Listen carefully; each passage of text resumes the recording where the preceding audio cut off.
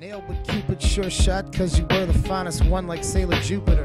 Hot like stovetop, sexy in the clothes you rock, stacked like pancakes from top T socks. What is up, my Wizards dev from SBMTG, that channel down there, and today we're to do a $10 deck tech. I got so much response to this idea in this last video, which you should go watch if you haven't watched it yet.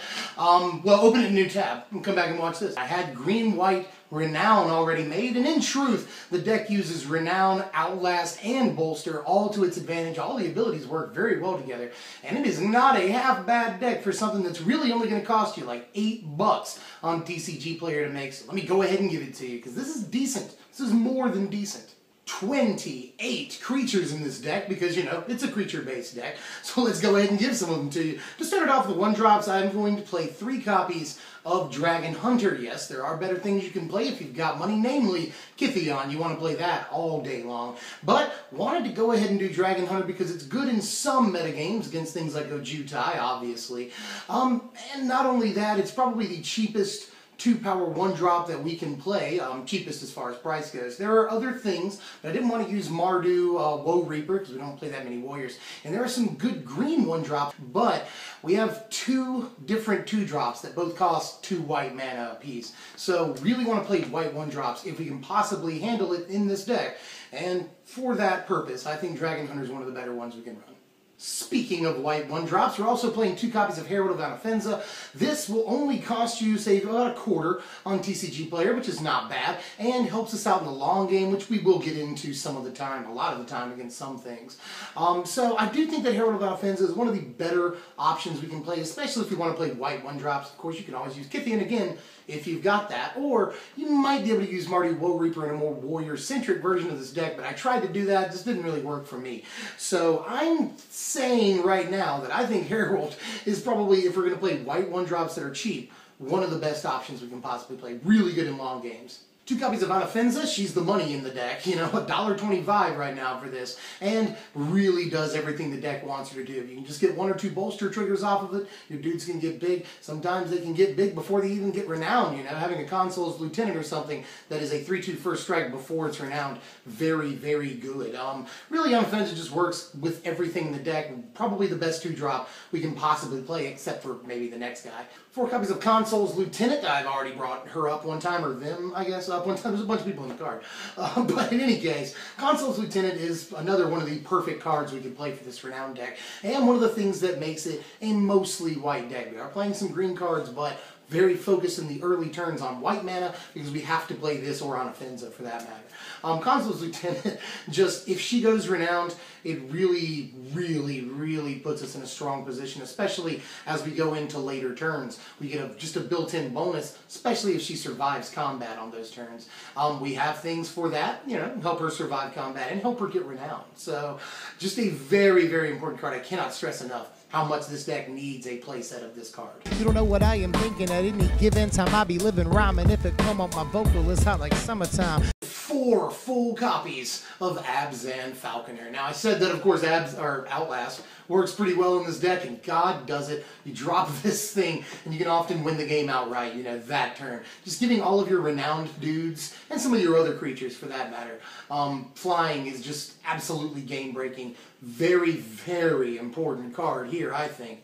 And yeah, I can't I can't praise enough. It has shown up in, you know, mono white soldier builds that have taken, you know, third, fourth place at opens and stuff. It is a good card, and people are playing it, and I can't blame them at all. This was in green white bolster that I made a couple of months ago, and I think it may be the best card in that deck, and it's one of the best cards in this deck, hands down three copies of Citadel Castellan, one of the green cards in the deck. Um, this gets big enough to survive combat with a Siege Rhino, which is very important. Big enough to survive combat with a lot of the important creatures in the format.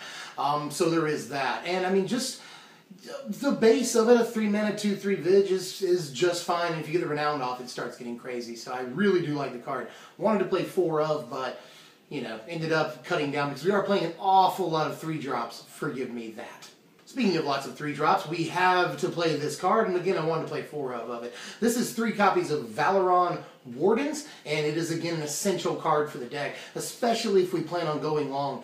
At all. It's really cool that its renown doesn't have to be turned on in order for its own ability to trigger. That's awesome and really, really helps, it turns out. Um, sometimes there are combats where you're able to draw one or two cards off of this guy. Um, really important card for us. Can't stress enough. Good creature here, you guys. And splashable, which is important. One copy of Abzan Battle Priest for the same reason that Falconer's in the deck, especially against other aggro if we can get this to come down, um, especially if we've survived a little bit later in the game for a stalemate situation perhaps, then this card can really help turn the tide in our favor. Um, even, even if we don't swing the turn that it comes down, you know, if we're in sort of an unfavorable combat situation of some kind, it will keep them from swinging, which is always good. This can extend a stalemate sometimes, create a stalemate other times, and get you out of a jam in other situations. So very, very flexible card, and I do like at least the one copy of because lifelink is just an important ability. And I think this is probably better than War Oracle if we're going to play a card that does this, especially at 4 mana. I think this is probably just better. And to finally finish off the creatures, two copies of Kytheon's Irregulars, an all-star in the deck, honestly. Very, very tip-top of our curve, which is cool. We're not playing too many expensive cards in the deck. And once he comes down, he helps get other creatures renown. He helps facilitate his own renown. Really important card for the deck. And another reason that we have to be very heavy on white mana and only sort of splash green in the deck. I think it's one of the best cards in the deck. It just helps our dudes get, rena get renowned, help our dudes get through for combat damage, facilitates his own renown, taps creatures down on their turn so they can't attack with them. Really good card. We are playing nine spells in the deck, and the deck does suffer a little bit from the loss of God's Willing, but whatever, that's fine. We do have Enshrouding Mist, which started off as just a one of, became a two of, then a three of. The card is that good, and if you don't even necessarily need the, um, your creature to be renowned to get that extra little gravy at the end of the card. That is really cool when that happens. You can sort of surprise block with a guy or something like that. It's not bad at all. Um, but even without that, it survives a lot of the burn spells in the format. Obviously, all the burn spells: Wild Slash, Lightning Strike, Roast, even Exquisite Firecraft. You know, there are things people are playing.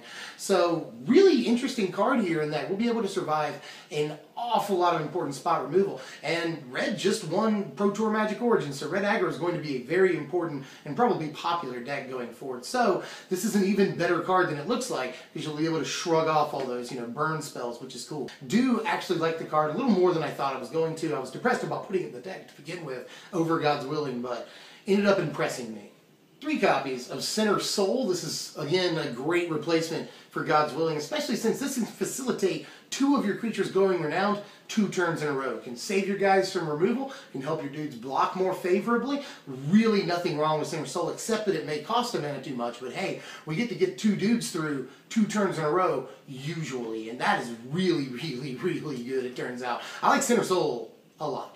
Speaking of surviving removal, onto our own removal. We're playing three removal cards in this deck, and that's it in the main. Two copies of Celestial Flare and one copy of Swift Reckoning. Both cards very, very good, obviously. Obviously, Celestial Flare in the main helps us get past Stormbreath Dragon to an extent. And just other problem things in the format. Some decks will only have one Siege Rhino out or something like that. Boom. So, or, you know, it really helps solve the problem of, of Ojutai and some other big dragons. So, love, love Celestial Flare and Swift Reckoning. We will obviously hardly hardly ever get off the uh, spell mastery, although we are playing nine instants and sorceries, so there is a chance after a Center Soul and an Enshrouding Mist that we do it, or maybe after um, a Celestial Flare and a, and a Center Soul, or something like that, you know. There are definitely things that we can do.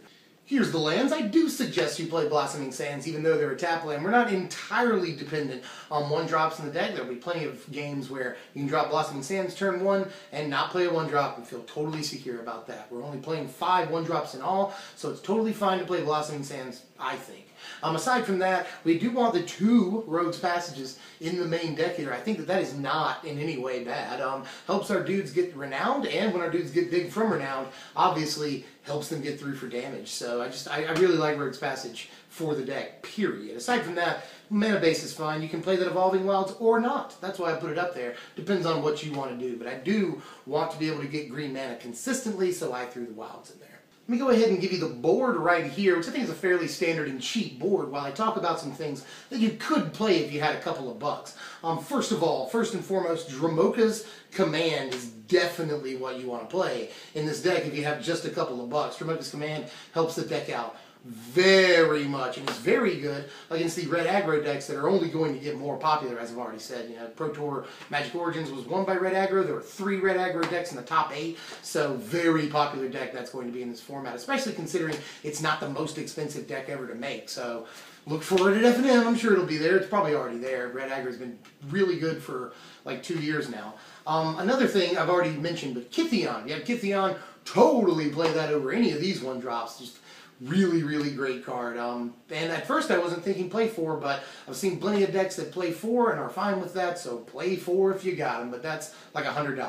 So take, take that with a grain of salt. Uh, Den Protector and Deathmist Raptor could also go in, although I'm not totally sure about Raptor, because we're not very committed to green. Although you could put more forest in, play Deathmist, but Den Protector I think goes especially well in this deck. And then obviously for the next couple of months, play Fleecemane Lion if you got copies at your house. Here are the power rankings. We get a final score of 54 points in all, which is really good for a deck that costs like 8 bucks. That's not bad at all. When I grab the mic, I grip it tight, dig in my cuticles and chew you both to pieces. When I eat you, you'll be future. Just very, very creature heavy, very aggressive because we want to get our renowns off.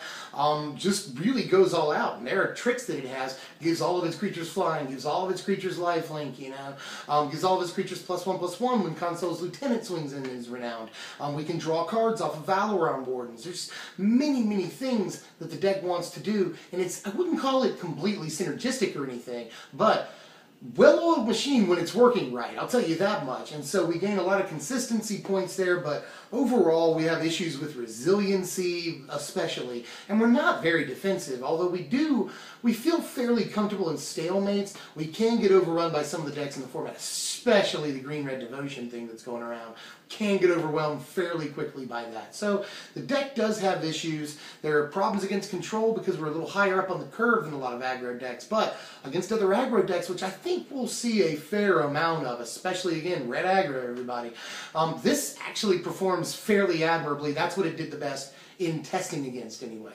If you just build this deck, this right here, it'll last you for months and months and months in the future, and you can add on to it, you know, with rares from boosters and stuff as you go. And I think it's a really, really good jumping off point. Let me know how you feel about this very first, the seminal $10 deck, and I'll be back with another one really soon. I'm going to let you pick it. Next, is either going to be, I'm pretty sure I know which one's going to get all the response, but I'm going to I'm gonna put my buddy out there and see how much you like it. My buddy is Stompy, mono green Stompy for less than $10. I think a lot less than $10 at the end of the day. And the other deck, which might be like 11 something, just, just barely over $10, blue-white Sphinx's Tutelage, which I'm pretty sure is going to get all the votes, but I'm pretty sure we can also make it for under $10 and make it kind of really awesome. So let me know how you feel about those. I know people have been wanting a tutelage deck for a while. Trust me, there will be more than one of those before the, before the end of the day. But in any case, that's all I got for now. If you like the content, like, share, comment, and subscribe. It helps our channel grow so, so much. And that's all we're focused on right now. We're focused on you guys too. Comment because I like to talk back to people whenever possible, and like because that just really makes us feel really good. And it helps us out with the YouTube algorithm, and you guys want to help us out. You're good people, we're good people, we like each other. Let's keep going. In any case, later. Thanks for watching, my wizards.